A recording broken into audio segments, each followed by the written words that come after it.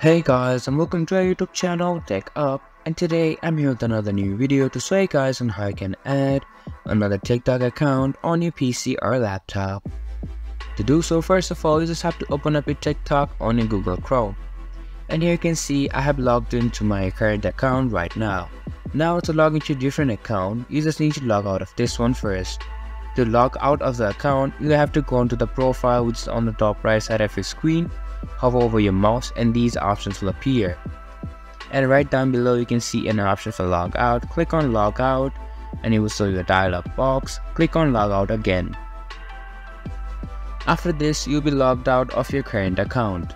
Now to log into your different account you just need to input your credentials of your different account that you want to log in into.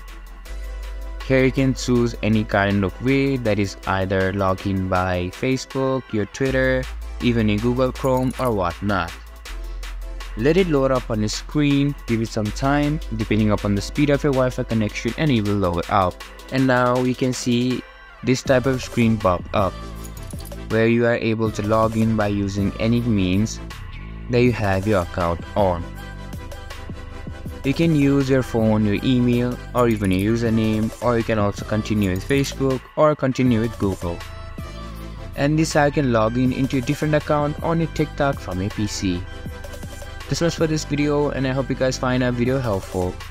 If you do, make sure to leave a like, subscribe to our YouTube channel and hit the bell notification. And don't forget to drop a comment for a review. For more content like this, see you guys in our next video. Thank you for watching.